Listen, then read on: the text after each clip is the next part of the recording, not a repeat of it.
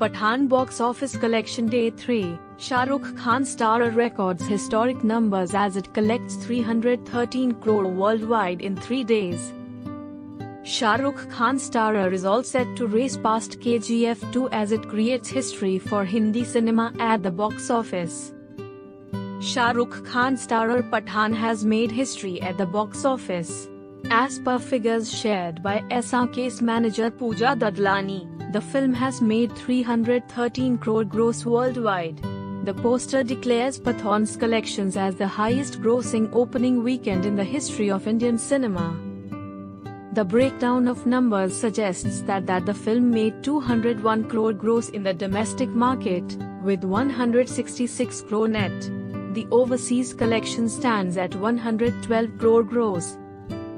On the third day of its release, the film collected 38 crore. After collecting 73 crore on Republic Day, this drop was mainly because Friday was a working day. It is expected that the film's collections will rise during the upcoming weekend. Box Office India suggested that Pathaan might collect 250 crore net across domestic markets by the end of Sunday, since it gets to enjoy a 5-day extended weekend. If Pathaan manages to do so, it will be a milestone for Hindi cinema's box office. By the end of the second day, Pathaan already managed to cross the 200 crore gross mark worldwide. YRF announced on Thursday evening that Pathaan had become the only Hindi film to breach 100 crore worldwide gross box office collection barrier on two consecutive days. Some text goes here.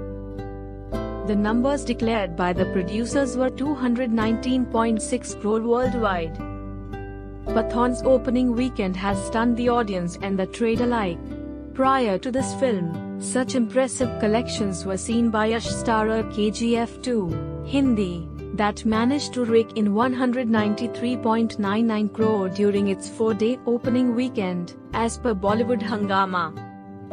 Salman Khan starrer Sultan had an opening weekend of 180.36 crore, followed by Siddharth Anand's previous film War, which had a 50 crore plus opening day, could only bring 166.25 crore during its opening weekend. Pathaan director Siddharth Anand spoke about creating box office history and said that one cannot plan it. He said in a statement, scripting history, Everyone wants it, but one can't plan it. It just happens. And when it does, it's actually a very humbling experience.